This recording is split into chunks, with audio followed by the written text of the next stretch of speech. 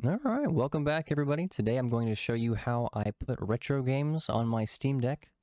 The easiest way to do that is going to be to exit out of this environment. We'll have to go to the desktop. We're going to add some software to this. So if you haven't done that, I'm going to show you how to do that today. It's pretty simple.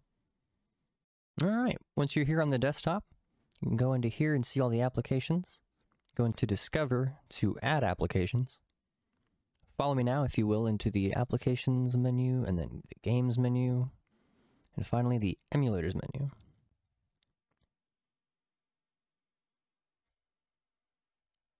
There are some emulators here that you could install standalone. I've installed like Dolphin standalone, but the one I'm going to be going over today is Retro Deck. This is the Emulation Station Desktop Edition, ported for Steam Deck especially, though it does have some special instructions and it doesn't tell you how to really set up the games if you're not familiar with this. So the first thing we're going to need to do is launch this in the desktop environment, but before we do that, a little pro tip it gave us was to add it as a non-Steam game, which I have already done. So we'll go through this list, select it, add it as a non-Steam game, and for now we're done with that step.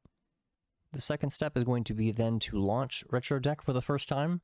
You're not going to have games in it like I do here, but you will see a pop-up telling you how to install some games. We'll hit the start button, we'll exit out of there, and now follow me into the File Explorer.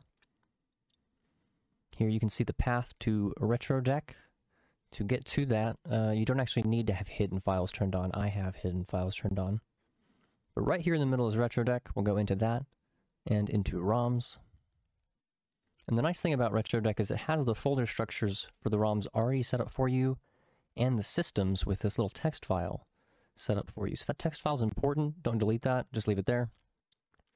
But if you have any games for each respective system, all you need to do is simply drop them into their corresponding folders.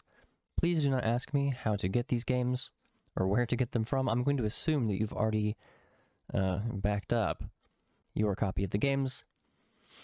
And now I'm using this Warpinator app, which you can also install from Discover and on your host computer and you can transfer files pretty simply with this or with SSH if you're more technically inclined.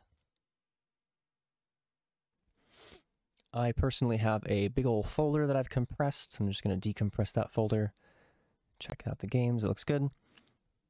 And to just copy this over, I'm going to rename it the same as what the other one is in the retro deck. So the SNES library is just called SNES. I know because I've done this before. And now I'm just going to copy that SNES folder and paste it into the same directory where we already have a SNES. Not inside of the SNES folder, but in the same directory as the SNES folder. You should get this dialog asking if you want to overwrite or merge. We want to merge and I'll apply all. And just to check, here's, here's the games. And now all we gotta do is uh, sanity check. I'm just popping back into Retro Deck to make sure that worked.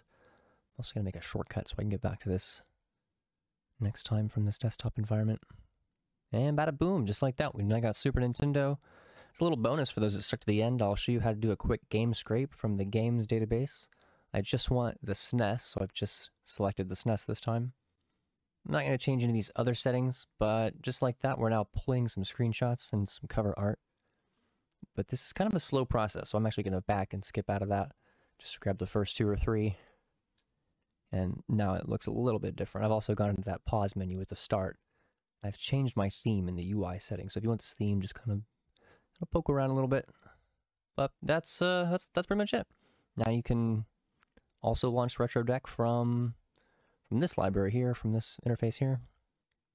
In a future video, I might show you guys how to then style your non-Steam games. You can pull some games, images from the Steam Grid database, and uh, make it look a little bit fancy. But this helped you, hit that like and that subscribe button. In a future video, I'm going to show you my favorite Steam Deck shortcuts, how to navigate, and maybe a, maybe a review. But hit that like, that subscribe button, and I'll catch you guys in the next one.